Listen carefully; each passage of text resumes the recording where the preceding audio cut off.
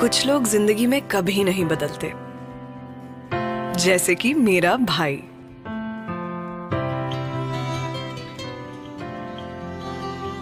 सुनता नहीं।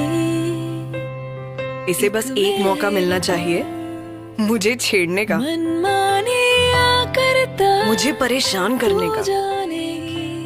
मेरे लिए एक पानी का ग्लास लाने में भी इस महाशय के पाँव दुखते हैं। किसको पता है कब अब देखो जरा। तू?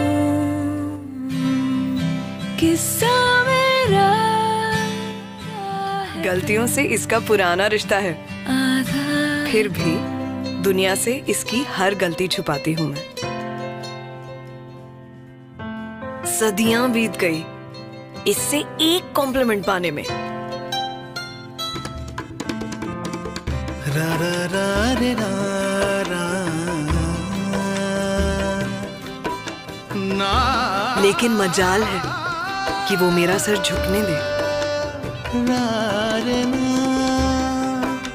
रे रे ना।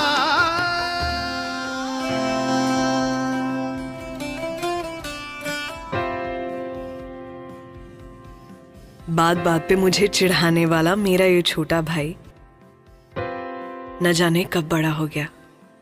किस्सा मेरा आधा है तू हिस्सा